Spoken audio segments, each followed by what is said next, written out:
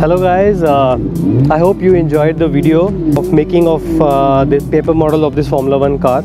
I spent around one month, uh, almost a month to make this model and this is my first paper model here in Bahrain. Now you must be questioning one thing that you know why this paper model was made white in color. Only reason was that I wanted to make this paper model uh, in a generic theme so that it represents all the teams and not only one team. Uh, another reason was that I wanted to make it white is because I would go and catch each and every uh, Formula One driver who had participated in uh, Bahrain Grand Prix. So imagine I have I have this paper model, and all the drivers have given their their signatures uh, on this car, and imagine imagine how it would look like at the end of the day.